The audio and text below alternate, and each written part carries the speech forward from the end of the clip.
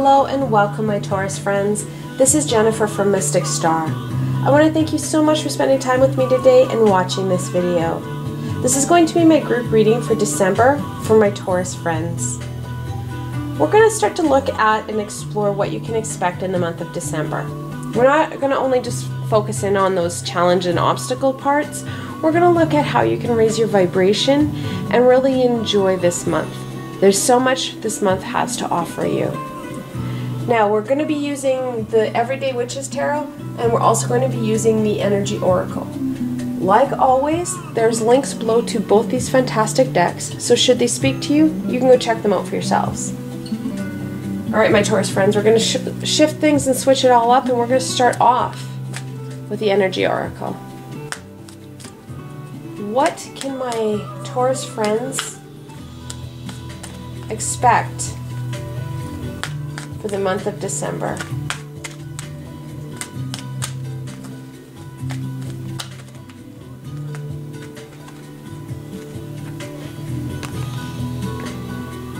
What a fantastic card.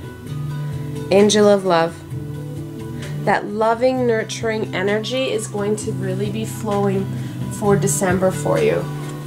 It really kind of gives a nice energy to this month.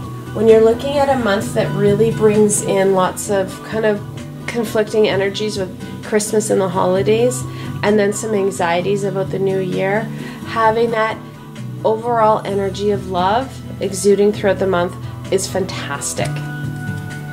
All right, I'm a tarot girl at heart, so let's start this off. What card symbolizes the month of December for my Taurus friends?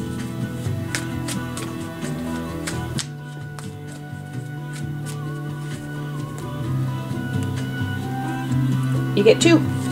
Two for the price of one. The Three of Wands. Threes are about expression and growth. Wands are about that passion. The Three of Wands is an action card. You've made your decision, you've graduated from the Two of Wands, and you're moving forward. You're ready to really put that inner fire and drive into gear and the Page of Pentacles. Pages are that childlike, innocent, playful, inquisical energy. Really going to be driving that three because that energy is going to want to learn and explore. When you look at the three of them, it really talks about that need to not only be working on those relationships and that love, but also making a change and a difference in it. Pages and children like to really question their world. So, questioning those relationships, questioning how you can strengthen them, questioning if those relationships are a positive piece will be something that's important for you in December, my Taurus friends. All right, let's look at December. What can my Taurus friends expect from the beginning part of December?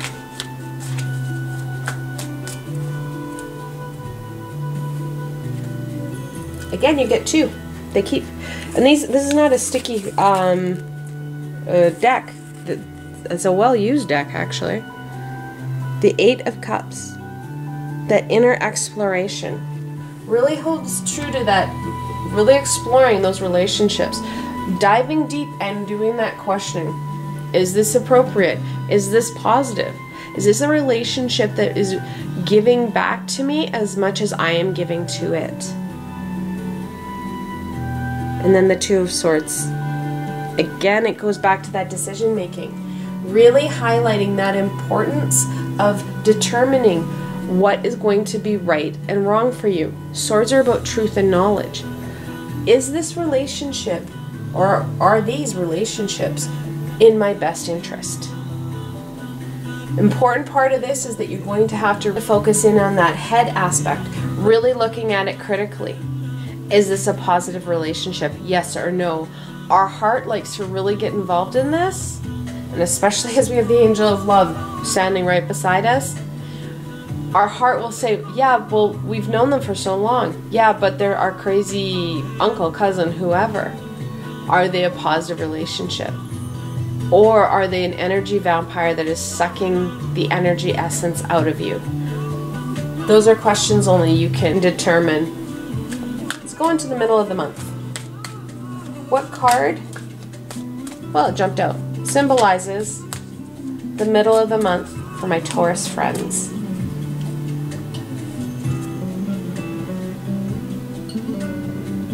The Ace of Pentacles. Aces are about that gift, if you will, from a higher spirit.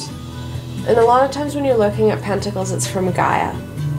That ability to embrace those aspects and really let yourself get some roots and gain some roots and strengthen them so that you're able to really, well, not only plant the seed, but really get that growth piece going. Really see some changes, see some abundance come in our lives. The angel of love is overseeing the month. Really focusing in on self. Because, yes, we have to make some determinations about our relationships, um, our external relationships, but also strengthening and focusing in and healing some of those personal relation, relationships. That relationship with your higher self, that connection in. Giving yourself some time and energy will really help like I said, strengthen those roots, but strengthen those bonds between you and your higher self, you and your intuition. Let's look at the end of the month. Does the end of the month bring my Taurus friends?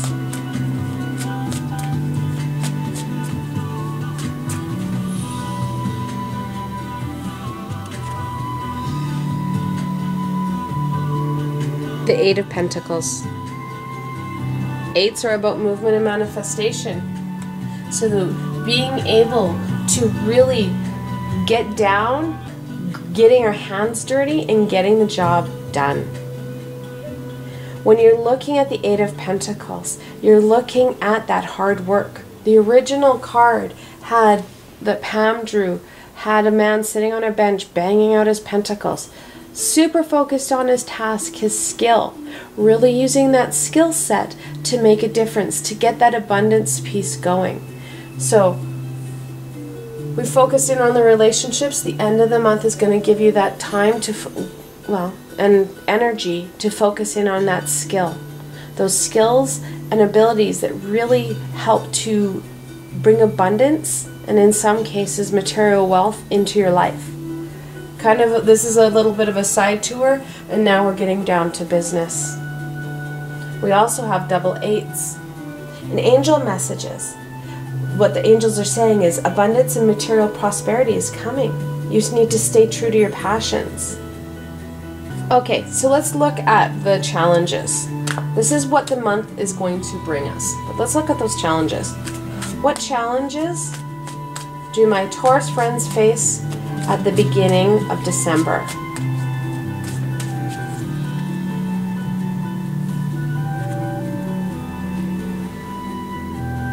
The Nine of Wands. And sometimes when you look at relationships, that's really how you feel. When you start to dive into those relationship aspects, it can really frazzle us.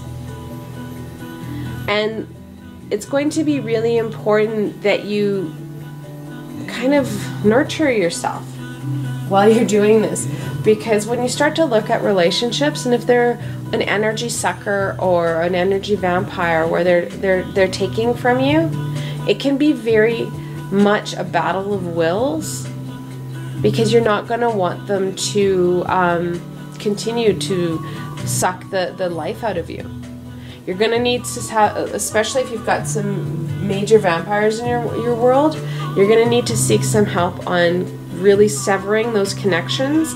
And it's not so much even those physical connections, but those energetic connections are there as well. We have tethers to each other, and having someone help sever and help heal is going to be really important for you. Let's go into the middle of the month. What challenges do my Taurus friends face in the middle of December.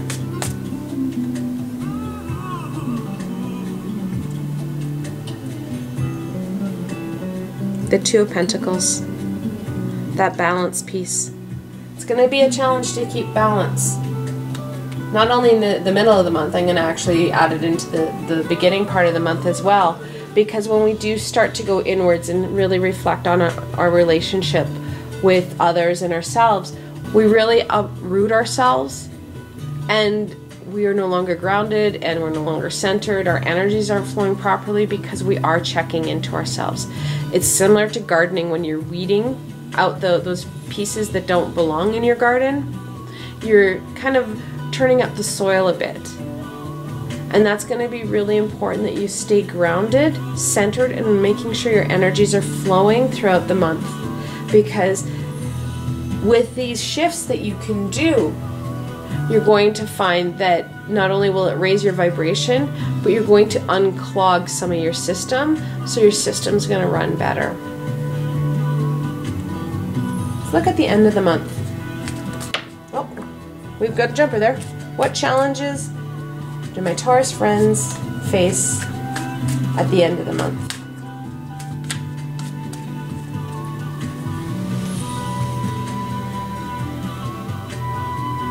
And that's the Page of Cups. Like I said before, pages are that childlike and quizzical energy. That play and exploration of a child. That's really going to impact that getting your hands down or in the, the dirt and getting going and getting things done. That playful kind of, oh, look, look at this, what about this, is really going to impact your ability to get the job done, that your inner fire is really going to want to get going on. We've done some growth piece here. It's time to work on those skills and abilities, but that kind of inquisitive, playful energy will be impacting you. We do have double pages. Now, pages are the 11th card in the Minor Arcana, and when you're looking at angel messages, number 11 is a master number, and it's to really listen to your intuition. During the middle of the month, you have that ability to strengthen your connection into your higher self and intuition, allowing it to guide you.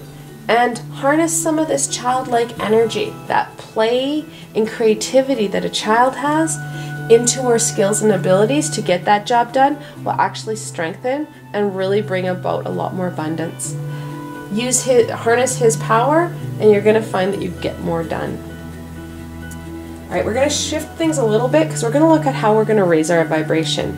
It's one thing to know about our challenges and what December is offering us, but how do we go forward on a more positive note and raise our vibration?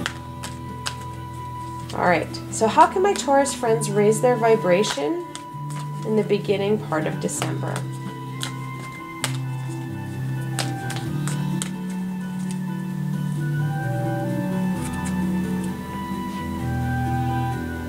The garden and the gate. Really reflecting in on our own. The, the grass is not always greener in our neighbor's yard. Actually, we're seeing it through a very um, kind of filtered glass, if you will. Focusing in on those pieces within that garden, those flowers. Some flowers are dying. It's time to prune them. We need to literally, and I've said this before, getting into our garden and weeding it. And as we weed it, we're going to raise our vibration because you're going to be also able to focus in on those amazing blossoms you have in your your your toolkit in your garden so that you can start to focus in on them and really nurture them so they grow bigger and more beautiful. Let's look at the middle of the month. How can my Taurus friends raise their vibration? In the middle of December.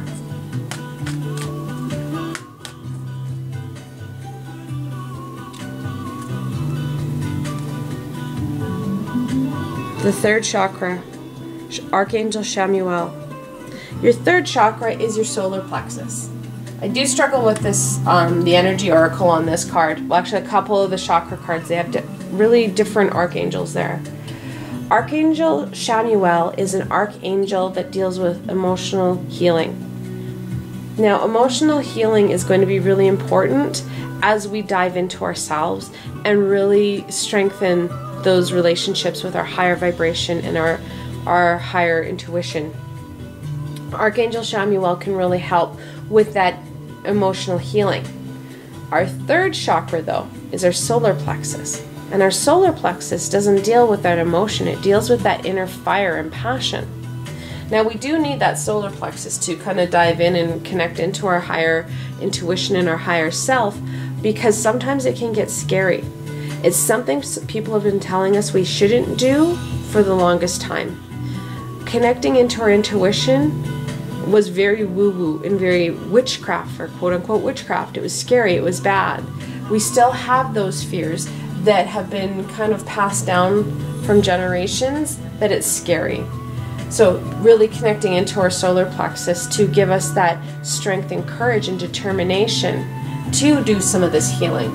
It does really work for um, the middle of the month for you, although Archangel Chamuel doesn't usually do the, the, um, the solar plexus. If you want support with your solar plexus, Archangel Uriel, he's the archangel to call on. He is the archangel of, of well, fire, basically. His name means light of God.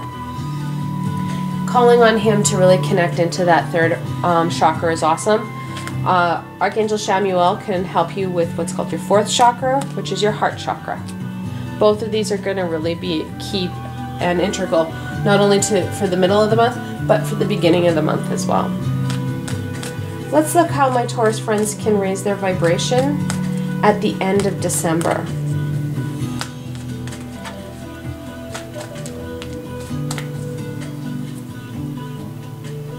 Oh, and I should note if you're seeing a lot of flashes of yellow and you're really feeling that inner determination and fire and courage come in, it is Archangel Uriel.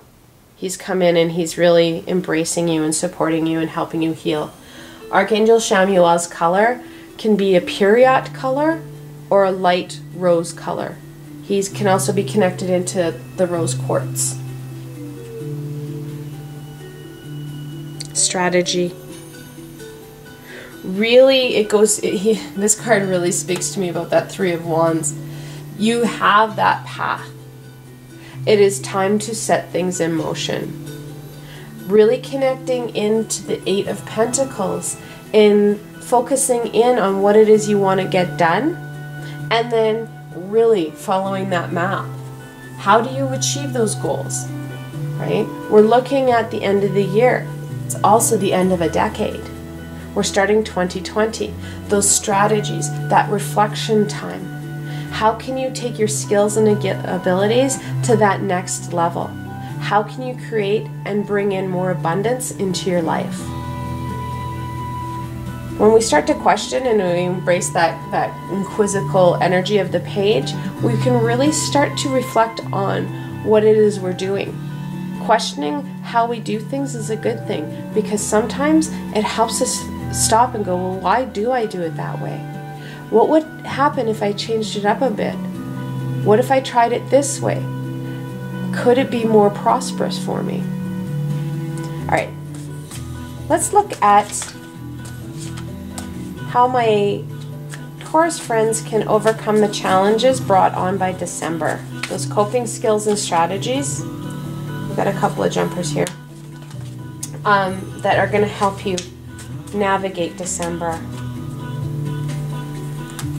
Okay, you got a number of him here, my Taurus friends. But most importantly, we start off with the sun. We go back to that loving, nurturing, joyous energy that needs to be the forefront of where you're at. When we raise our vibration, we're embracing that love, joy, and harmony. That love, joy, and harmony is really going to help kind of heal us and help kind of push us forward and literally help our garden grow. Because we need to make some changes. Some of the reflection and changes that need to happen in the beginning of December will not only impact your life, but it'll impact the lives of those around you. Those individuals who are energy vampires or who are really, um, they, you guys have a very unbalanced relationship where they're, you're doing all the work, whether they're sucking your energy out or not, They're asking you to do the things that either you, you may not feel comfortable doing, but you're doing all the legwork. When you're doing more work than what you're receiving back with that love and energy, that's when the, the relationship isn't healthy. It should be a positive give and take relationship on both aspects. Some of them aren't. We all have them. We have to prune them out because as we evolve, so do they, and our relationships they change. The moon. The moon talks about those mysteries and unknown pieces, which really we're, we're diving into here. Most people don't take that time to really reflect on what's our relationships are like, what our life has been doing, how these things have happened, how have we got to this point, how have we changed. Those core beliefs sometimes need to be shifted. Those unknown aspects, why we're doing things the way we do them. Really making sure that you do dive into them and, and reflect so that you do have a clear path going into 2020. The Magician. Now, all these cards jumped out together, and I'm starting to see a bit of a pattern here. The Magician, the first card in the Major Arcana. He talks about those skills and abilities, those natural gifts that we have, using those with those everyday aspects the wand, the sword, the pentacle, the cup to make magic happen. Drawing in that universal energy and making the impossible possible. Judgment, the 20th card in the Major Arcana. Do you guys start to see the pattern here? This is the connection to the universe and to the universal song. Really clearly hearing those messages that the universe wants to share with us, giving us direction. And finally, the world. The 21st card in the Major Arcana talks about the ending, that pause piece, and that next step. Celebrating all that you've achieved and being excited for that next stage. What's going to really help you is this major life shift. December offers you, my Taurus friends, the ability to shift out of that negativity and those energy vampires to a more very focused and centered self that has a higher vibration and a better ability to manifest and produce those things that you want in your life. These are major life shifts, major arcanas, that major life shift. Knowing that the sun and the angel of love are there.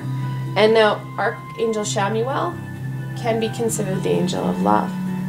This can also be one of his um, angels that he works with all the archangels have angels that they work with. So it's very much could be another angel that works with him. But that loving, nurturing energy to really reflect on what's happening for you and how you can start to raise your vibration. That's what December is going to hold for you. I want to thank you so much for spending time with me today and watching this video. If you enjoyed this video, please remember to give it a thumbs up and don't forget to subscribe to my channel. If you've seen any of my past videos, you really never know what I'm going to do next, and more importantly, when videos are going to come up. I'd really hate for you to miss anything. Also, if you enjoyed this video and want to support me in making more, I have a Patreon page with many tiers and lots of perks. In some of the tiers, the perks are private readings with myself. I provided a helpful link below, so why not go check it out. Until tomorrow, my Taurus friends.